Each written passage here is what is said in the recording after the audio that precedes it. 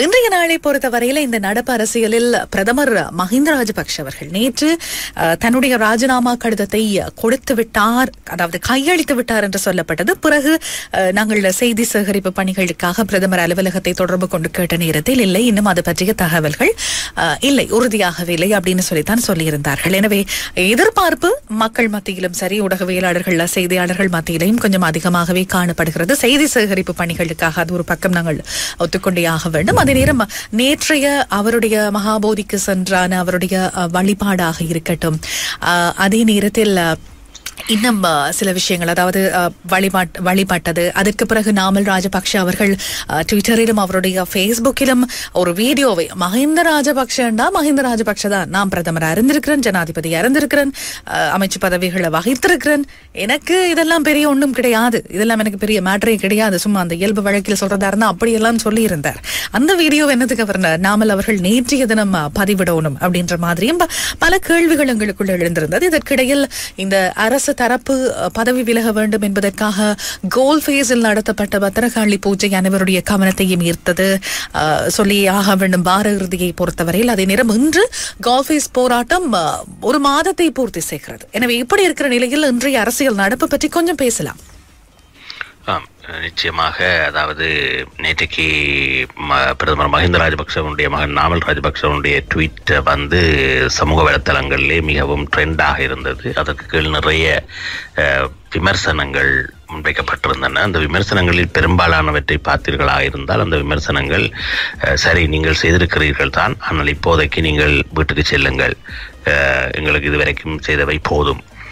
பதவி விலக வேண்டும் என்ற வகையிலான கருத்துக்களும் கிண்டல்களுமாகத்தான் மிக பெரும்பாலான விமர்சனங்கள். அவருக்கு சார்பாக ஒரு சில விமர்சனங்களை தான் பார்க்கக்கூடியதாக இருந்தது. பெரும்பான்மையான விமர்சனங்கள் எதிரானவையாகத்தான் காணப்பட்டது. அதே போல் மகாபோதிக்கு போன பொழுதும் அவருக்கு கடுமையான எதிர்ப்புகள் ஆங்காங்கே குரல்கள் எழுப்பப்பட்டிருந்தன. மிகவும் பாதுகாப்பு மத்தியில் சென்று தன்னுடைய வணக்க அதாவது வழிபாட்டை செலுத்தி மீண்டிருக்கிறார். நான் நினைக்கின்றேன் பிரதம மந்திரி மஹிந்த ராஜபக்சனுடைய வரலாற்றிலே அவர் இளமை காலத்திலே அரசியலுக்கு வந்தவர். நேற்றைக்கு அதுவும் சமூக வலைத்தளங்களில் போட்டிருந்தார்கள். இருபத்தி மூவாயிரத்தி சொச்ச வாக்குகளிலே மிக இளமை காலத்திலே பதவிக்கு வந்த மஹிந்த ராஜபக்ஷ அவர்கள் மீண்டும் அதாவது மிக குறைந்த வாக்குகள் எதுவுமே இல்லாமல் வீட்டுக்கு போகிறார் என்ற விடயங்கள் சுட்டிக்காட்டப்பட்டிருந்தன. அந்த வகையிலே மிகவும் இக்கட்டான நிலையில் இந்த நாடு இருக்கின்ற நிலையிலே பல்வேறு தரப்பினரும் தங்களுடைய கருத்துக்களை தெரிவித்துக் கொண்டு வருகிறார்கள். அவர் பதவி விலகிறாரா இல்லையா என்பதனை பொறுத்திருந்துதான் பார்க்க வேண்டும். ஏனென்றால் அவருடைய பதவி விலகல் என்பது மிகவும் சிக்கலான ஒரு விடயமாக காணப்படுகிறது. ஒரு தரப்பினர் அவருடைய குடும்பத்தவர்கள் உள்ளிட்ட ஒரு தரப்பினர் அவர் பதவி விலகக்கூடாது இருக்க இன்னும் பெரும்பாலான நாட்டினுடைய பெரும்பான்மை மக்களும் அரசியல் தரப்பினரும் வந்து அவர் பதவி விலக வேண்டும் அமைச்சரவை முழுக்க விலக வேண்டும் என்று கேட்டுக்கொண்டிருக்கிறார்கள். எனவே இப்போதைக்கு ஜனாதிபதி அதாவது கோட்டா கோகம என்ற இது முன்னின் முன்னிறுத்தப்படுவதற்கு அப்பால் பிரதம மந்திரியும் அமைச்சரவையும் தங்களுடைய பதவியை ராஜினாமா செய்ய வேண்டும் என்ற நிலை காணப்படுகின்றது. எனவே இந்த நிலைமை இன்று அவர் ராஜினாமா செய்யலாம் என்ற கருத்துக்கள் பரவலாக பேசப்படுகின்ற பொழுதிலும் இன்றைக்கு காலையில் ஒரு தகவல் வந்தது. அதாவது கரு ஜெயசூரிய பிரதமராக வருவதற்கு முதல் தேசிய பட்டியல் நாடாளுமன்ற உறுப்பினர் மயந்த வந்து ராஜினாமா செய்வார். அவர் ராஜினாமா செய்ததன் பின்பு அஹ், கரு ஜெயசூரிய அந்த தேசிய பட்டியல் நாடாளுமன்ற உறுப்பினராக பதவியேற்ற பின்பு பிரதம மந்திரி மஹிந்த ராஜபக்ச ராஜினாமா செய்வார். அவர் செய்ததன் பின்பு கரு ஜெயசூரிய மீண்டும் பிரதம மந்திரியாக அதாவது அவர் பிரதம மந்திரியாக நியமிக்கப்படுவார் என்று சொல்லப்படுகிறது. எனவே இவ்வாறான கருத்துக்கள் மிகவும் மிக முக்கியமானவையாக என்று காணப்படுகிறது. அவர் பதவி விலகிறேன் ராஜினாமா செய்கிறேன் உரையாற்றுகிறேன் என்ற வரைக்கும் எவருமே அவருடைய முடிவுகளை எதிர்பார்க்க முடியாமல் இருக்கிறது. இறுதிக்கணத்தில் கூட அவர் தன்னுடைய ராஜினாமா செய்ய மாட்டேன் என்று சொல்லக்கூடிய நிலையிலே அவர் காணப்படுவதாகவும் சொல்லப்படுகிறது. எனவே இன்றைக்கு உங்களுக்கு தெரியும் அல்லவை மாளிகையை நோக்கி அவருக்கு சார்பானவர்கள் வரப்போகிறார்கள் அல்லது ஜனாதிபதி மாளிகையை முற்றுகையிடப் போகிறார்கள் அவர் பதவி விலகக்கூடாது என்று கேட்கப் போகிறார்கள் என்று கூட நேற்றைய ஊடகங்களிலே தகவல்கள் வந்து கொண்டிருந்தன. எனவே அந்த விடயங்களை அடிப்படையாக கொண்டு பார்த்தால் முன்னாள் ஜனாதிபதி சந்திரிகா பண்டாரநாயக்கா சொல்லியிருக்கிறார் குமாரதுங்க சொல்லியிருக்கிறார். ஒன்றில் அதாவது அரசாங்கம் அமைச்சரவை முழுக்க பதவி விலகி இடைக்கால அரசாங்கத்தை ஏற்க வேண்டும். அல்லது இடைக்கால அரசாங்கத்துக்கு அரசாங்கமோ எதிர்க்கட்சியோ தயார் என்று சொன்னால் நாடாளுமன்றத்தை கலைத்துவிட்டு இப்போ பொது தேர்தலுக்கு செல்ல வேண்டும். இதுதான் இப்போ இருக்கிற ஒரே ஒரு வழி என்று சொல்லியிருக்கிறார். எனவே மகேந்த திசநாயக்கா பதவியை ராஜினாமா செய்து கரு ஜெயசூரிய வந்து பொறுப்பேற்று அல்லது கரு ஜெயசூரியவோ எக்ஸோ வையோ சட்டோ ஒரு ஆள் இடைக்கால பிரதமராக எல்லோராலும் ஏற்றுக்கொள்ளப்படுறவர்கள் வந்தால் மிக முக்கியமானது. இந்த சட்டத்தரணிகள் சங்கம் தான் இன்றைக்கு மெயின் ரோலை ப்ளே பண்ணுகிறது. என்றால் நேற்றைக்கு சட்டத்தரணிகள் சங்கம் அனைத்து தரப்பையும் சந்தித்திருக்கிறார்கள். எதிர்க்கட்சியை சந்தித்திருக்கிறார்கள் ஜனாதிபதியை சந்தித்திருக்கிறார்கள் பிரதம மந்திரியை சந்திப்பதற்கு முனைந்து பின்பு சந்தித்திருப்பதாக தகவல்கள் வெளியாகி இருக்கின்றன. அவர்கள் பதிமூன்று அம்சங்களை கொண்ட திட்டங்களை முன்வைத்து நிபந்தனைகளை விதித்து அதற்கு உடன்பட வேண்டும் என்று கட்டாயப்படுத்தி இருக்கிறார்கள். அந்த நிலையிலே இன்றைக்கு பார்த்தீர்களாக இருந்த தினேஷ் குணவர்த்தன விவகாரம் அரசியலமைப்பு எல்லாம் முக்கியமில்லை என்று சொல்லிக் கொண்டிருந்த தினேஷ் குணவர்த்தன முன்னாள் அமைச்சர் இப்போதும் அவர் அமைச்சராக இருக்கிறார். அவர் சொல்லியிருக்கிறார் அரசியலமைப்பிலே மாற்றங்கள் அவசியம். அரசியலமைப்பை மாற்றி பொருளாதார ரீதியாக பெரிய ஒரு மாற்றங்களை கொண்டு வர வேண்டும் என்று சொல்லியிருக்கிறார். முன்னாள் ஜனாதிபதி மைத்திரிபால சிறிசேனா சொல்லியிருக்கிறார் சட்டத்தரணிகள் சங்கத்தோடு நடைபெற்ற பேச்சுவார்த்தை மிகவும் வெற்றிகரமாக அமைந்திருக்கிறது என்று சொல்லியிருக்கிறார் முன்னாள் அமைச்சர் நாடாளுமன்ற உறுப்பினருமான ரவு ஹக்கீம் சொல்லியிருக்கிறார். சட்டத்தரணிகள் சங்கத்தோடு பேச்சுவார்த்தை நடத்தி இருக்கிறோம் ஆனாலும் ஜனாதிபதியினுடைய வார்த்தையில் தான் ஜனாதிபதி என்ன முடிவெடுக்கிறார் என்பதை பொறுத்துத்தான் அடுத்த கட்டம் நகர்வதற்கான வாய்ப்புகள் இருக்கிறது என்று சொல்லியிருக்கிறார்கள். இதுதான் இப்பொழுது இருக்கின்ற பிரதான முக்கியமான விடயங்களாக காணப்படுகிறது. இதற்கிடையே தமிழ் தேசிய கூட்டமைப்பு நம்பிக்கையில்லா பிரேரணைக்கு ஆதரவு அளிப்பதாக முடிவெடுத்திருப்பதாக தகவல்கள் வெளியாகி இருக்கின்றன. எனவே நம்பிக்கையில்லா பிரேரணைக்கு முன்னால் அதாவது சுய சுயேட்சையாக சுயாதீனமாக இயங்குகின்ற உறுப்பினர்கள் அனைவரும் நம்பிக்கையில்லா பிரேரணைக்கு ஆதரவு அளிப்பதாக சொல்லியிருக்கிறார்கள். எனவே நம்பிக்கையில்லா பிரேரணையில் தோல்வி கண்டு பிரதம மந்திரி விலகுவதற்கு முன்பு அவர் தன்னுடைய கௌரவமாக பதவி விலகலை மேற்கொள்ள வேண்டும் என்ற அழுத்தங்களும் ஆளுந்தரப்புகளை மேற்கொள்ளப்படுவதாக தெரிகிறது. ரைட் முக்கியமாக நீங்கள் ஏற்கனவே சொன்னது போல இந்த பிஏஎஸ்எல் என்று சொல்லுகின்ற எங்களுடைய இந்த சட்டத்தரணிகள் சங்கத்தினர் தான் நேற்றைய தினம் சந்திப்பு நடத்தி அந்த சந்திப்பின் முடிவுகளில் முடிவில் ஏதோ சில சில விஷயங்கள் உள்வாங்கப்பட்டிருக்கிறது போலதான் தெரிகிறது. பொறுத்திருந்து பார்ப்போம். இதை தவிர இன்றைய தினம் முக்கியமான சில நகர்வுகள் பற்றியும் நாங்கள் பேசலாம் என்று இருக்கிறோம் குறிப்பிட்டு சொல்ல வேண்டிய விஷயங்கள் அல்லது இன்றைய தின எதிர்பார்ப்புகள் அப்படின்னு சொல்லி எதை சொல்லலாம்? பாராளுமன்றத்திலே இந்த கட்சித் தலைவர்களுடைய கூட்டம் நடைபெற இருக்கிறது. இந்த கட்சித் தலைவர்களுடைய கூட்டத்துக்கு சபாநாயகர் அழைப்பு விடுத்திருக்கிறார். இந்த கட்சித் தலைவர்களுடைய கூட்டத்தில் தான் இந்த நம்பிக்கையில்லா பிரேரணை ம- கொண்டு வரப்படுவது நம்பிக்கையில்லா பிரேரணையை விவாதத்துக்கு எடுத்துக்கொள்ளப்படுகின்ற திகதிகள் என்றால் அவர்கள் அவசரமாக இந்த நம்பிக்கையில்லா பிரேரணையை விவாதத்துக்கு எடுக்க வேண்டும் என்ற ஒரு கோரிக்கையை முன்வைத்திருக்கிறார்கள். எனவே இந்த கட்சித் தலைவர்களுடைய கூட்டத்திலே நம்பிக்கையில்லா பிரேரணையை எத்தனையாம் தேதி விவாதத்துக்கு எடுத்து எடுப்பது என்பதற்கு முன்னதாகவே பிரதம மந்திரி பதவி விலகுவதான விடயம் உறுதிப்படுத்தப்பட்டால் அந்த ஒரு நம்பிக்கையில்லா பிரேரணையை கொண்டு வருகின்ற தேவை இல்லாமல் போய்விடும். அதாவது அரசாங்கத்துக்கும் பிரதமருக்கும் எதிராக கொண்டு வரப்படுகின்ற நம்பிக்கையில்லா பிரேரணை தேவை இல்லாமல் போய்விடும். எனவே இடைக்கால அரசாங்கத்துக்கான முன்னுரிமை அளிக்கப்பட்டு இடைக்கால அரசாங்கம் பொறுப்பேற்கும். இடைக்கால அரசாங்கம் வருமாக இருந்தால் அந்த இடைக்கால அரசாங்கத்தினுடைய சிபாரசின் அடிப்படையில் இன்னொரு விடயம் பேசப்பட்டு கொண்டிருக்கிறது. நேற்றைக்கு இரவு பன்னிரண்டு மணியோட அதாவது பத்தொன்பதாவது சட்டம் மன்னிக்க வேண்டும்.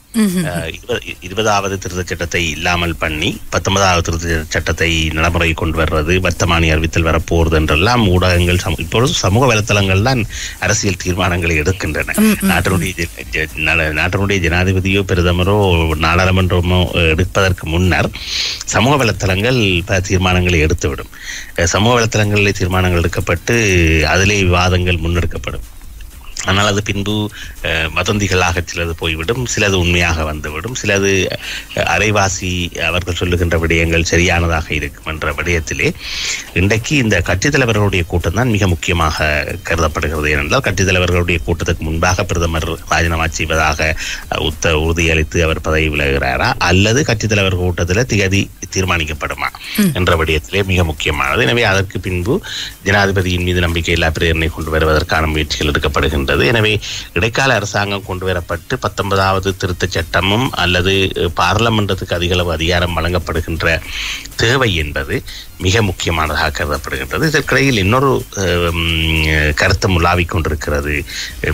அதாவது இடைக்கால அரசாங்கம் பொறுப்பேற்று இவ்வாறு செய்கின்ற காலப்பகுதியிலே ஜனாதிபதியினுடைய அதிகாரம் பாரிய அளவில் குறைக்கப்படும் அல்லது ஜனாதிபதி ஒரு நாலு மாதத்திலே விலகி விடுவார் என்ற கருத்துக்களும் வதந்திகளும் உலாவிக் கொண்டிருக்கின்றன. ஆனால் ஜனாதிபதி பதவி விலகுவதற்கான வாய்ப்புகள் அவர் தெளிவாக சொல்லியிருக்கார். தன்னுடைய பதவிக்காலம் வரை தான் பதவியிலே இருப்பேன் என்று சொல்லி. ஆனால் ஒரு சமூக வலத்திலே ஒரு கருத்தை அஹ், பார்த்தேன். அதாவது பலமான ஒரு நாட்டினுடைய தலையீட்டின் அடிப்படையில் ஜனாதிபதி விலகிச் செல்லலாம் என்ற ஒரு கருத்தும் உலாவிக் கொண்டிருக்கிறது. ஆனால் இது எவ்வாறானதாக இருந்தாலும் இன்றைய கட்சித் தலைவர்களுடைய கூட்டத்தின் பின்புதான் மிகவும் முக்கியமான முடிவுகள் வரும் என்று எதிர்பார்க்கப்படுகிறது. இதற்கிடையில் ரணில் விக்ரமசிங்க அவர்களுடைய வீட்டுக்கு முன்னால் நடைபெற்ற போராட்டம் கோ ஹோம் கோட்டா என்பது ஒரு பக்கம் இருக்கு. கோ ஹோம் ரணில் அல்லது ஸ்டே ஹோம் ரணில் என்ற போராட்டம் ஆரம்பித்திருந்தது. பிறகு அவர் கூட முன்னாள் பிரதமர் கூட சொல்லியிருந்தார். நான் பொதுமக்களை வீட்டுல சந்திக்கிறது கிடையாது. உங்களோட சந்திக்கிறேன் சிறி கொத்தாவில் என்று சொல்லி இன்று நேரம் இன்றைய தினம் அந்த திங்கட்கிழமை வந்து சந்திங்கள் என்று சொல்லி சொன்ன மாதிரி ஒரு ஞாபகம். எனவே அஹ், அதை பற்றியும் பேசலாமே.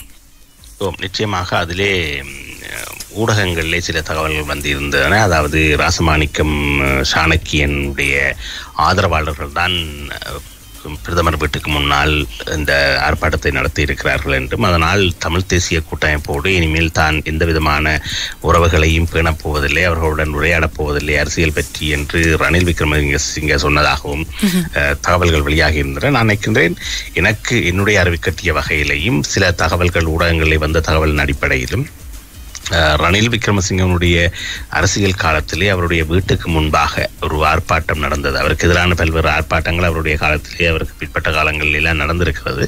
ஆனால் வீட்டுக்கு முன்னால் சென்று அவ்வாறானது ஒரு ஆர்ப்பாட்டம் நடைபெற்றது என்பது அவருக்கு அது ஒரு கௌரவ பிரச்சனையாகவும் இருக்கிறது. ஏனென்றால் அவருக்கு இவ்வாறான ஒரு ஆர்ப்பாட்டம் முன் முன்னதாக அவரை வீட்டுக்கு போ அல்லது வீட்டில் இது என்று சொல்லி ஆர்ப்பாட்டங்கள் நடைபெறவில்லை. ஈவன் அவருக்கும் சஜித் பிரேமாசாவுக்கும் இடையிலான கட்சி முரண்பாடு அதிகரித்து கட்சி பிரச்சனைகள் அதிகரித்த காலப்பகுதியில் கூட ஸ்ரீஹோத்தாவை நோக்கிய ஊர்வலங்கள்லாம் சென்றிருக்கின்றது ஆர்ப்பாட்டங்கள்லாம் சென்றிருக்கிறது அந்த ஸ்ரீஹோத்தாவை நோக்கி சென்ற ஆர்ப்பாட்ட காலத்திலேயும் பிரதம மந்திரி மஹிந்த ராஜபக்ஷ ஜனாதிபதியாக இருந்த காலத்திலே அந்த வீதி உடனடியாக திருத்த வேலைகளுக்காக மூடப்படுவதாக மூடி ஸ்ரீகோத்தாவையும் முன்னாள் பிரதமர் ரணில் விக்ரமசிங்கவையும் ஜனாதிபதி மஹிந்த ராஜபக்சனுடைய ஆட்சி காலத்தில் பாதுகாத்தமை. ஞாபகத்துக்கு வருகிறது.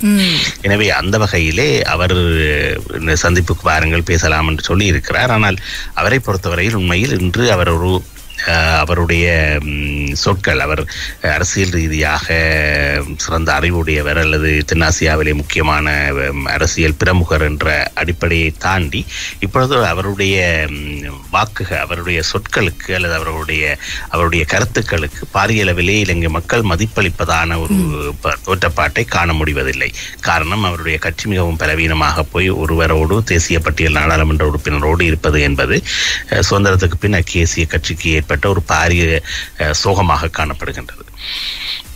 சரி. இதற்கிடையில் ஜனாதிபதி தொலைபேசியில் அழைத்தார் சஜித்தை பிரதமராகும்படி கோரினார் இப்படியான செய்திகளையும் நாங்கள் கேட்கக்கூடியதாக காணக்கூடியதாக இருக்கிறதே.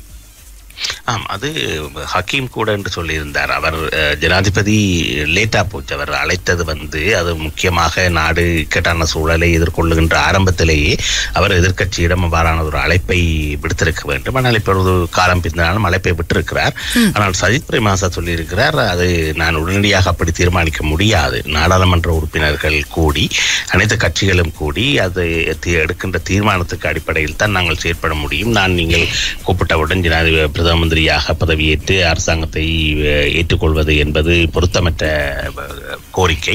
எனவே கட்சித் தலைவர்களுடைய கூட்டம் நடைபெறப் போகிறது. நாடாளுமன்ற உறுப்பினர்கள் அனைவரும் சந்திக்கப் போகிறோம்.